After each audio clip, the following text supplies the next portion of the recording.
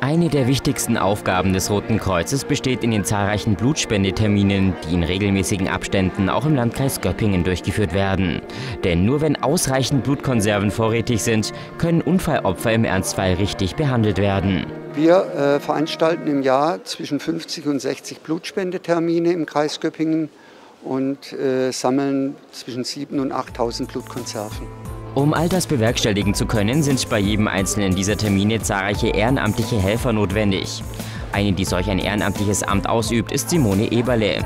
Bereits seit vielen Jahren spendet sie nicht nur selbst Blut, sondern hilft auch bei der Durchführung zahlreicher Blutspendeveranstaltungen mit. Und das aus Überzeugung.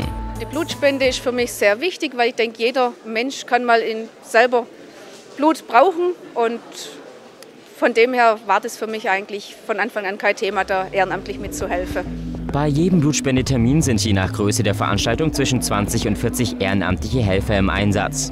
Diese werden vor ihrem ersten Einsatz in verschiedenen Kursen vom Roten Kreuz auf ihre jeweilige Aufgabe vorbereitet. Bei der Blutspende bin ich hauptsächlich an der Anmeldung, nehme die Spender auf, erkläre ihnen, was sie zu tun haben und leite sie dann zum Arzt oder dahin, wo es halt weitergeht.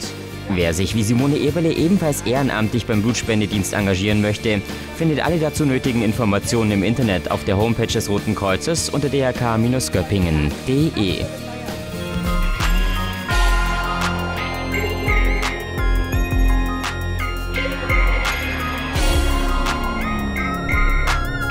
Ehrenamt aus Liebe zum Menschen.